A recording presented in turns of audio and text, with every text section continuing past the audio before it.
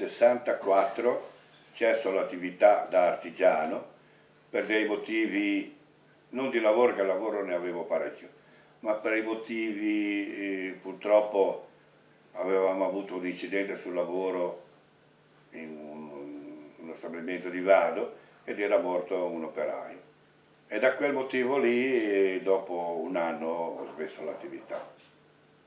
I miei dipendenti che avevo li ho sistemati tutti, chi in ferrovia, chi da una parte, chi dall'altra, chi ai carboni fossili, li ho sistemati tutti e poi ho, ho cessato l'attività. Dopo che sono entrato a lavorare nel Tasside, il primo mese sono entrato come operaio, come manovale. Dopo un mese mi hanno passato capo reparto della saldatura e della sbavatura dei metalli in fonderia bronzo. Nel mio, nel mio mio era, non ero più artigiano, perché prima di tutto eh, il lavoro di tre, di, di, di, parlandoci chiaro, il lavoro di otto ore di un artigiano, un operaio di tal sider ci vuole dieci giorni io a fare quell'ozio da capo, ancora stare a guardare, a lavorare gli altri, per me era una tortura, era una tortura. Io ho preso tre giorni di sospensione dal direttore, ingegnere Palazzi, perché mi ha trovato a lavorare. E io dicevo, ma che colmo è un operaio, un capo, che si mette a lavorare e gli date tre giorni di sospensione, ma uno che lavora gli date tre giorni di sospensione non devono lavorare se hanno dei dipendenti o degli operai capaci a lavorare e capaci a svolgere quel lavoro lì. Invece quel lavoro specifico di saldatura dei metalli è una cosa molto difficile. Se uno non sa le temperature che si scalda, gli elettrodi, tipo di elettrodi da operare e tanti altri colori di, del metallo, eh, non, non si può lavorare. E io dovevo insegnarli. Io poi avevo fatto varie modifiche di lavoro su questo, specialmente sulle cassette di rame, che le avevamo saldate per, per recuperare da tutti gli scarti che lo scarto delle cassette di rame, nel bronzo no, non c'erano questi grandi scarti, ma nel rame specialmente c'era un enorme scarto. Scarti nel senso che facevamo delle cassette che dovevano contenere dell'acqua, a pressione, a bassa pressione, ma insomma acqua, per raffreddamento degli altri forni e perdevano, erano tutte eh, groviera dentro, erano vuote, erano piene di aria, perché non erano fatte bene. Comunque io avevo trovato un sistema che quelle poche che venivano discretamente, che però perdevano, le scriccavo, ci facevo un incavo, le riportavo, le battevo, le riportavo con della saldatura e venivano buone. Allora poi hanno cominciato però dal 10% che io recuperavo, non gli bastava più la direzione, hanno voluto l'85%, l'85% era da buttare, perché non si poteva recuperare, era uno scatto enorme. Sono entrato nel 65, i primi del 65 sono andato avanti sino al 71, poi basta, ho cessato l'attività perché io no, non ero fatto per stare in quegli ambienti lì. Però io ho sempre avuto dei contatti meravigliosi con i Tassider, infatti dopo, nell'80 ah, mi hanno dato in consegna tutto il circolo Italsider, che è una palazzina eh, di 2000 metri quadrati di, di, di, di cosa, con due campi da tennis, camp, 8, 12 campi da bocce, la pista di pattinaggio, me l'hanno consegnata a me e mi hanno detto tu gestiscila, vai avanti. E io mi sono messo io e mia moglie, abbiamo gestito questa, questa cosa, un lavoro stupendo, che a me piace moltissimo, stare in compagnia, avevamo quattro biliardi, una, una biblioteca che a me mi strappa il cuore, che sia andata, andata persa, una biblioteca enorme, comunque di volumi, dei volumi anche antichi di un certo valore che sono stati sprecati. Quando è andato via l'Ilva l'Intersida da Savona, dove io avevo il circolo, un giorno mi, arri mi arrivano e mi dicono, eh, l'Ilva a Savona, l'Intersida da Savona non c'è più. Ma come non c'è più? Qui devono pagare le bollette dei cosi, della palazzina, di, eh, pagare le tasse delle cose. Io, insomma che io ho, ho finanziato io lo, tutta la palazzina il circolo per un anno, ho preso 20 milioni io di, di, di bollette, perché sennò ci tagliavano la luce, ci tagliavano il gas, poi mi sono stati restituiti eh, da Gedone. Io ero artigiano, lavoravo per l'Ilva, per il Tassida di Savona e per l'Ilva, il Tassida di Vado che facevamo delle lavorazioni per i binari, per i, eh, gli scambi, facevamo delle stappe un po' particolari. Questo è il lavoro che facevamo noi, per Varno. Per Savona invece facevo i lavori di manutenzione su tutto lo stabilimento. Allora si lavorava tutti i sabati e le domeniche, specialmente quando c'erano le fermate del Cubilotti, della fonderia, si entrava dentro con 45-50 gradi di temperatura, si entrava dentro a tagliare col cannello con la, con la fiamma, eh, con la lancia termica, a tagliare i blocchi di ghisa che rimanevano dentro al cubilotto e allora la temperatura andavamo anche sugli 80 gradi, facevamo delle tutte, tutte termiche perché sennò ti bruciava la pelle. Però nonostante questo gli acidi, i fumi c'erano che davano molto fastidio. Però poi insomma avevamo dei, delle lavorazioni che si lavorava bene, sulle, sempre nella polvere, in fonderia specialmente, eravamo sempre nella polvere eh, di fonderia, sino, specialmente sui caroponti, andavo a fare la manutenzione dei caroponti, o alle ruote, ai cuscinetti, o al motori, o ai carelli che non andavano, perché erano carelli, cariponti che portavano delle siviere che erano delle tonnellate con della ghisa fusa, perciò dovevano andare come orologi quei carelli.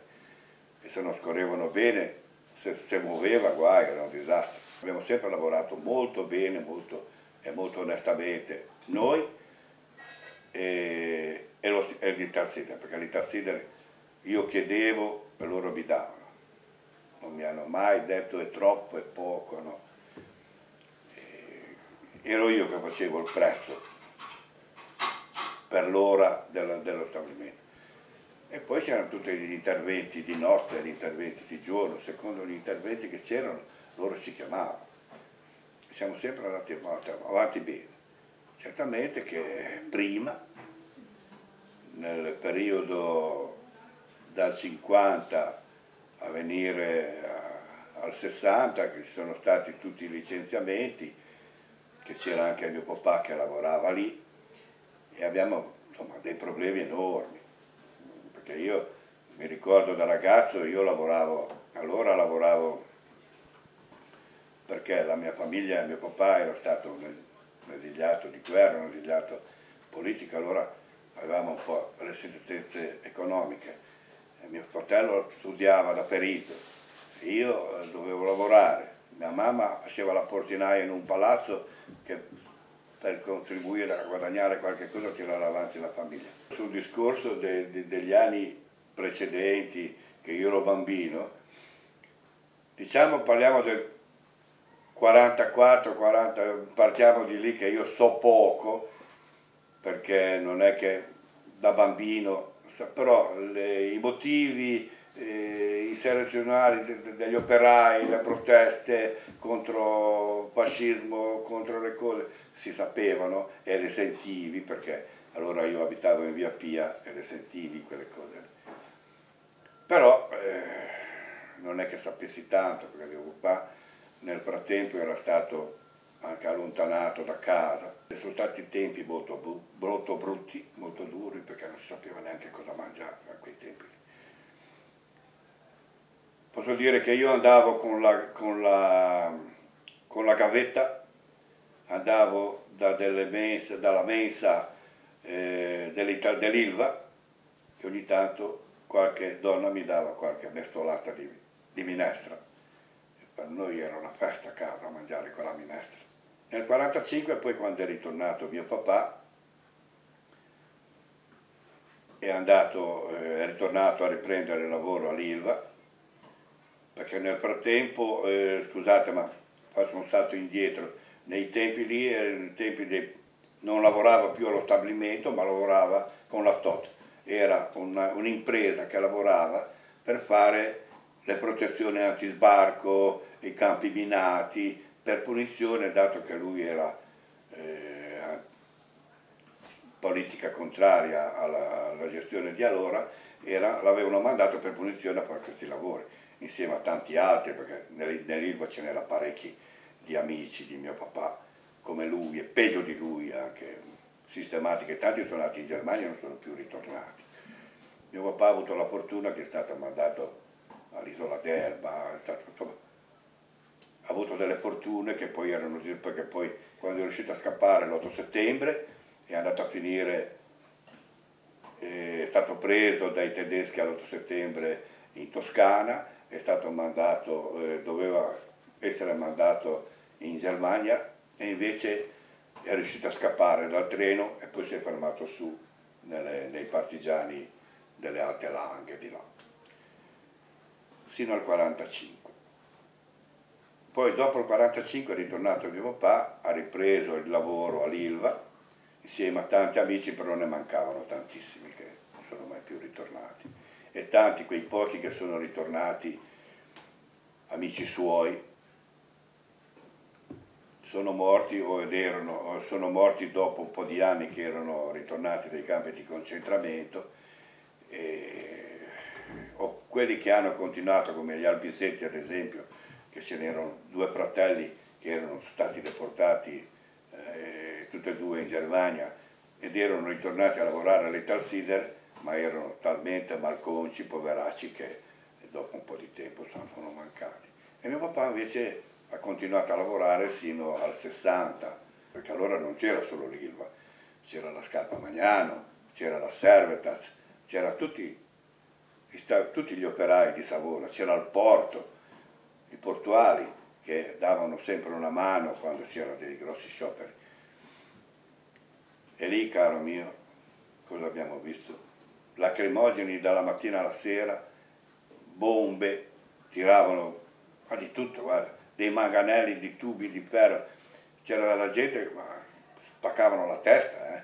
botte da orbi, la gente che, le donne che, eh, le donne dell'Itolata, le donne della Miense, le, le mogli dei, dei, operai con i bambini che protestavano perché perdevano, insomma su 7.000 ne hanno censato 5.000, eh?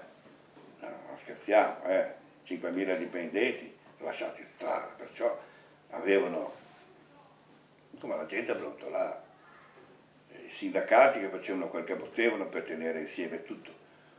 E allora il sindacato non era diviso come adesso, il sindacato ce n'era uno solo, c'era la CGL, era tutto conglobato lì, e, insomma era forte, però era forte perché venivamo su anche da una guerra, e venivamo su che c'erano i vecchi partigiani ancora che tiravano avanti. Sulla questione del dell'Ilva di Savona, ci sono dei, dei tempi purtroppo che eh, noi da ragazzi, per noi era, era tutto l'Ilva, perché avevamo il papà che lavorava lì, o lo zio, io ne avevo due zii che lavoravano lì dentro, avevano dei cugini che lavoravano lì dentro, avevo degli amici che lavoravano lì dentro. Guarda, insomma, eh, a volte sentendo suonare il fischio dell'entrata o dell'uscita eh, dell'entrata delle due, dell'entrata delle due e l'uscita delle due, il fischio che suonava la sirena, che era la sirena degli allarmi, quando suonava l'allarme per l'Ilva, perché c'è anche da dire questo, che l'Ilva è sempre stata, non so se è stata fortunata nel senso della stazione de, de, de, di Savona, ma posso dire che l'Ilva ha subito pochi bombardamenti, dentro lo stabilimento. Chi ha subito ha subito di fuori. Al di fuori tutta via Granci è stata distrutta, il porto è stato distrutto, però come stabilimento è stato colpito poco. Era un punto definitivo sentire quel, quella, quel, quella sirena e vedere questa uscita, una massa di uscita di gente che era enorme, perché uscivano fuori 2.000 operai, 3.000 operai per turno, uscivano fuori dall'Irva, era una marea in Corso Mazzini, e sulla terrazzetta era una marea di gente, sia di mogli che aspettavano i mariti, eh, c'era una marea di gente. E allora macchine non ce n'erano, o a piedi o in bicicletta. La trazione più tanta era in bicicletta. Passavano sotto dalla terrazzetta o di sopra.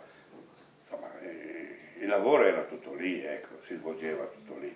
perciò per noi era tanto. Già quando si era a lavorare in giro, noi ragazzi, che si sentiva la sirena, io facevo le due U, andiamo, e ci dava un segnale che, c'era la gente che lavorava, ma lavoravamo anche noi, era l'ora di smettere.